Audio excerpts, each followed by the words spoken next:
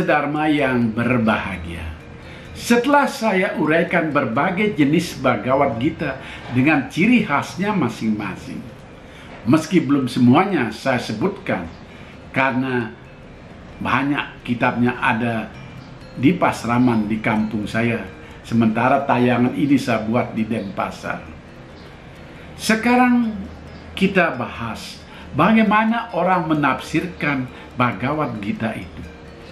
Di sinilah tafsiran itu berbeda karena ada maksud-maksud tertentu. Ke mana penerjemah mau menggiring pembacanya. Ada banyak perbedaan penafsiran.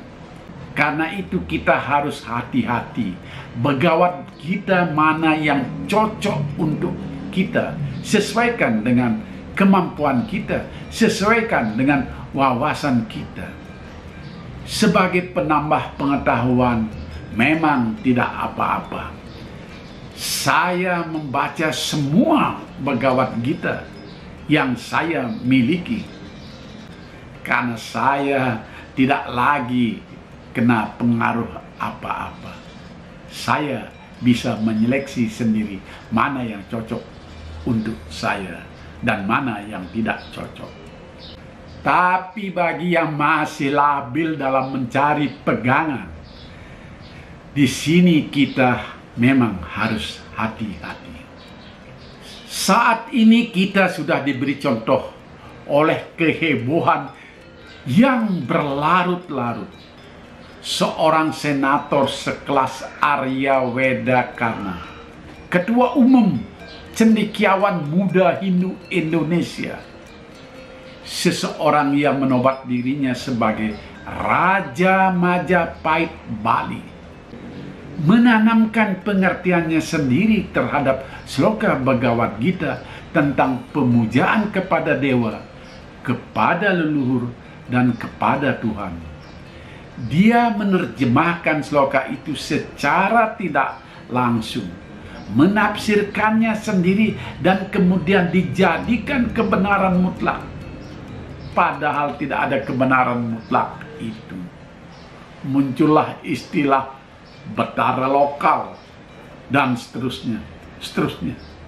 Kayak telepon di masa lalu, ada lokal, ada interlokal saya akan memberi contoh satu sloka saja agar tak berpanjang-panjang.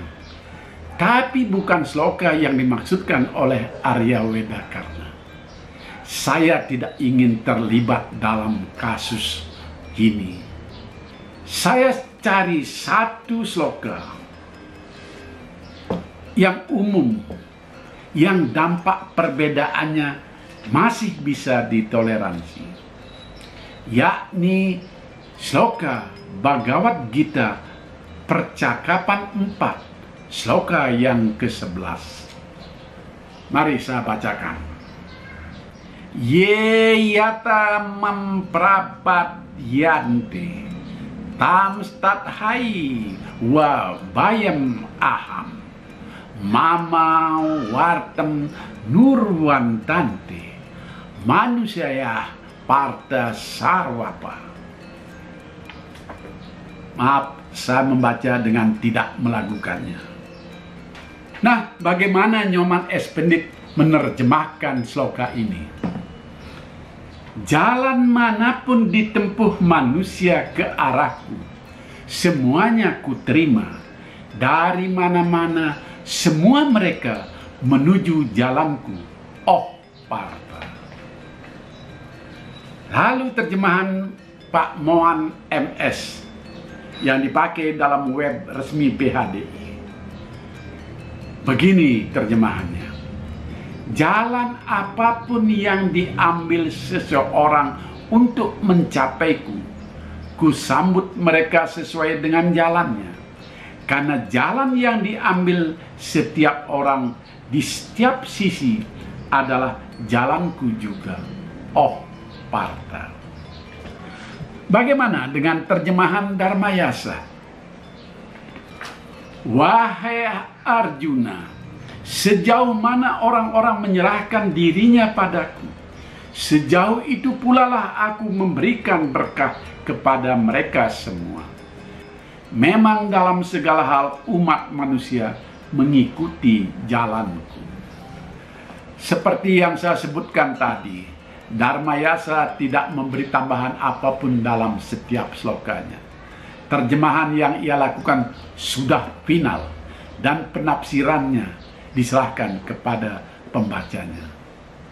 Sekarang terjemahan Bapak Gede Puja dalam sloka yang sama. Bagaimanapun jalan manusia mendekatiku, aku terima, oh Arjuna. Manusia mengikutiku dalam segala jalan.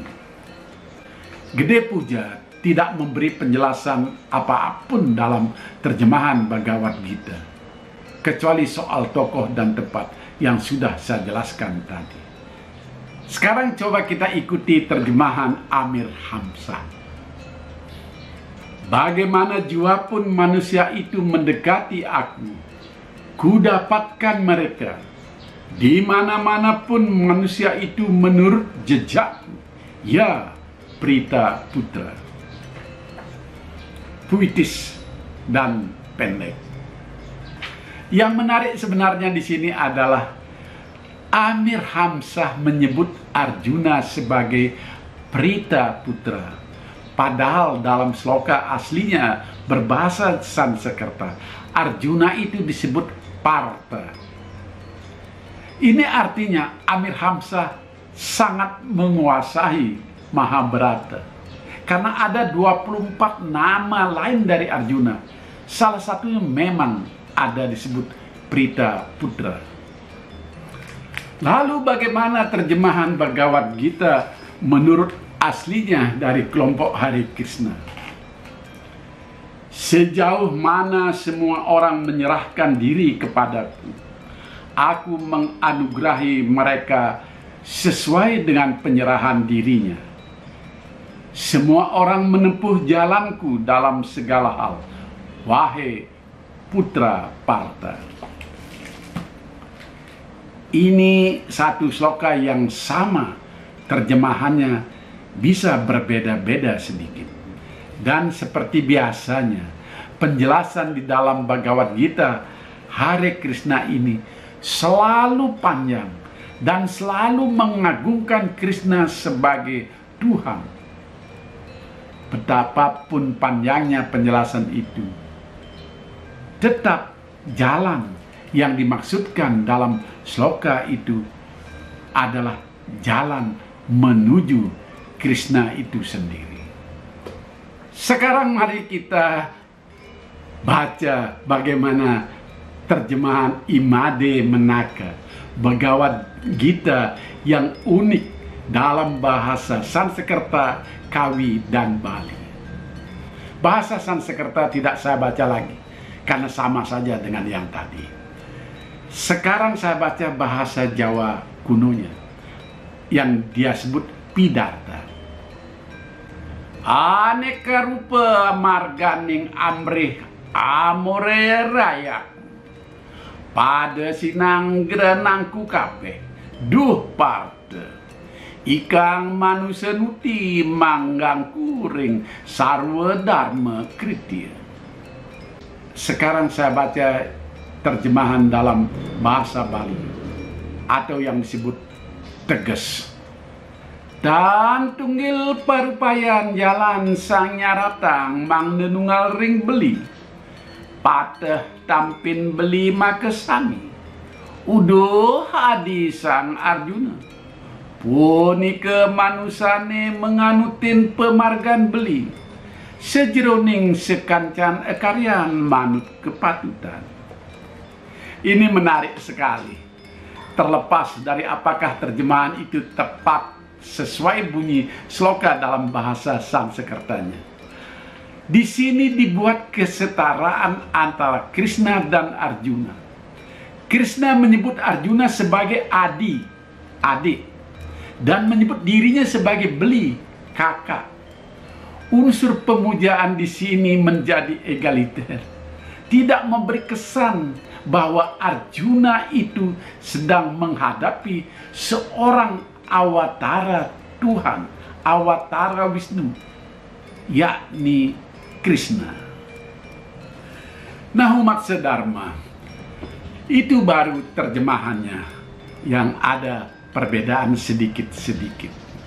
Lalu bagaimana dengan uraiannya atau penafsirannya? Di sini ada beda yang sangat prinsip sebenarnya. Nyoman S. Pendit mengartikan jalan itu sebagai jalan karma atau karma yoga dan jalan ilmu pengetahuan atau jenana karma. Apa pun yang dipilih, apakah jalan memuja Tuhan lewat kerja atau memuja Tuhan lewat ilmu pengetahuan, semuanya diterima. Karena semua jalan itu menuju ke arah Tuhan. Pak Pendit jelas menyebutkan jalan itu adalah jalan upacara, jalan sembahyang, jalan falsafah atau tatwa, jalan meditasi yang semuanya menuju satu, Tuhan. Semua jalan itu bisa ditempuh dan Krishna tidak mengarahkan pada satu jalan saja.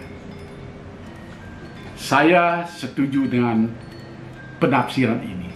Saya lama bergaul dengan Pak Nyoman Pendit. Beliau saya anggap seorang guru dan juga sahabat saya.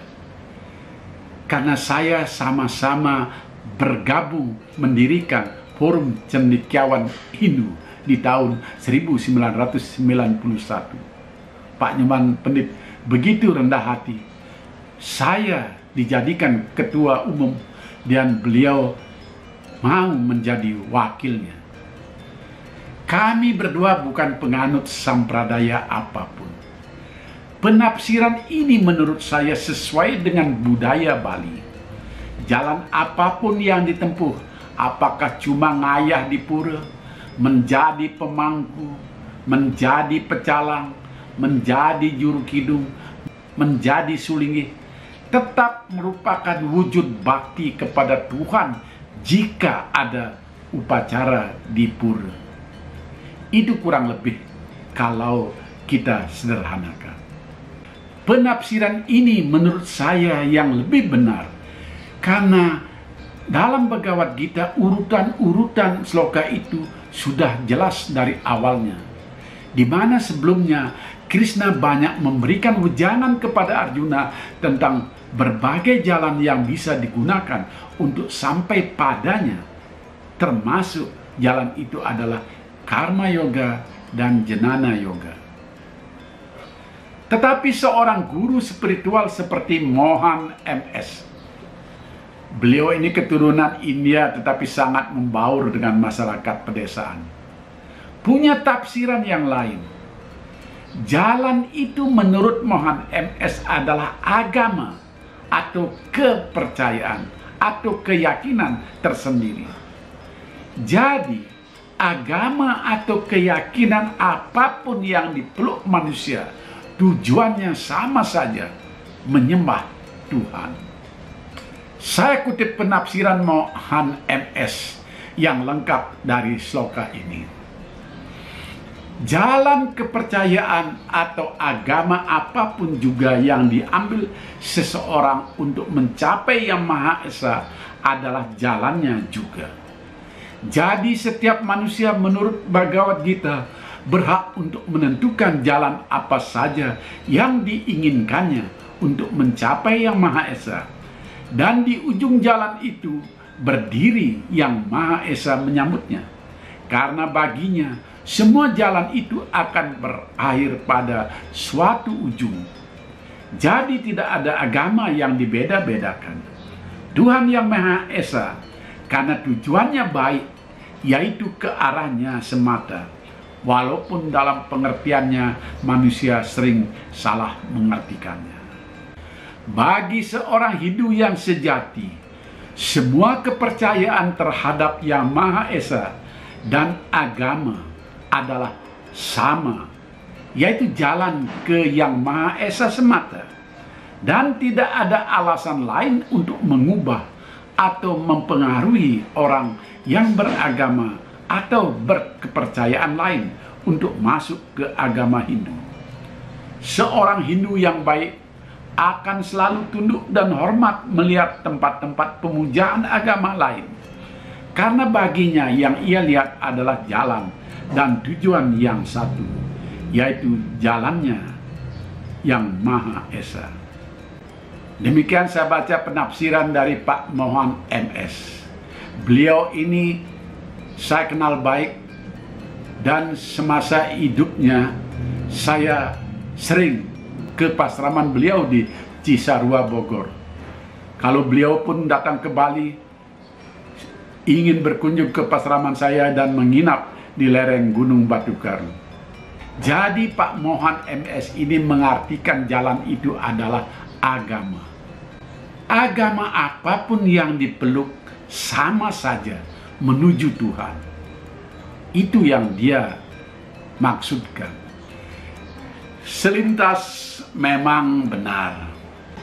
Karena itulah sloka BG ini sering dipakai oleh kalangan misionaris agama lain di Bali di tahun-tahun 1960 sampai 1970-an untuk mengalih agamakan orang Bali yang Hindu. Konon, banyak orang Bali beralih agama pasca meletusnya Gunung Agung. Jika digunakan kata-kata yang sederhana, sloka ini diartikan begini. Sudahlah, untuk apa beragama Hindu yang ruwet? Pindah ke agama lain saja yang lebih simpel. Toh, kitab suci Hindu Bhagavad Gita membolehkan semuanya itu. Agama itu hanya jalan saja. Sama saja semuanya. Jalannya sama saja menuju ke Tuhan. Jadi, keluar dari Hindu masuk ke agama lain ya sama saja. Luar biasa. Perbedaan penafsiran ini membawa dampak. Saya sering berdebat dengan almarhum Pak Mohan soal ini. Dan saya selalu menegaskan bahwa saya toleran terhadap orang yang berpindah keyakinan karena memeluk agama itu adalah hak asasi yang dilindungi konstitusi. Dijamin oleh Undang-Undang Dasar 1945. Tapi sebagai pendeta Hindu, saya tentu wajib fanatik terhadap agama saya. Karena itulah sloka Bhagavad Gita percakapan 4 sloka ke-11 itu saya artikan jalan itu bukan agama tapi menyangkut masalah profesi yang ingin kita lalui. Jadi demikianlah umat sedharma yang baik. Sudah terlalu panjang saya memberikan pandangan. Yang intinya adalah kalau kita sudah siap menerima perbedaan dan wawasan kita cukup memadai, kitab Bhagavad Gita yang mana pun baik kita baca sebagai pengetahuan dan melihat pemikiran yang berbeda-beda. Namun kalau kita tidak siap, mulailah dengan Bhagavad Gita yang penafsirannya tidak mengarah kepada penafsiran kelompok atau aliran, apalagi sampradaya. Bhagavad Gita Pak Pendit bagus, Begawat Gita dan Mayasa bagus. Selain Begawat Gita, Profesor Mantra dan Pak Puja yang memang sangat standar. Lebih baik lagi kalau membaca Begawat Gita disertai diskusi sehingga saling memberi masukan. Apa arti sloka yang dibaca itu? Namun yang penting menurut saya diingat adalah belajar agama Hindu bukan diawali dengan membaca Bhagavad Gita. Tetapi pelajari kitab-kitab Upadesa dulu. Bahkan tetua kita pernah menyebutkan pelajari itihasa sebelum mempelajari Weda. belajar dulu Pancasrada, Trikaya Parisuda, Sadripu, doa-doa sehari-hari. Banyak yang perlu dipelajari terlebih dahulu sebelum kita membaca Bhagavad Gita yang begitu indah sairnya tetapi harus kita kupas kulitnya secara terus menerus dengan wawasan yang lebih luas. Demikian pesan terakhir saya. Semoga ada manfaatnya. Sampai jumpa dan jangan lupa subscribe, like, dan share channel saya ini. Karena saya akan memberikan wacana yang berkesinambungan tentang Bhagavad Gita, Sara Samusjaya, dan kitab-kitab suci lainnya. Rahayu. Om Santi, Santi, Santi.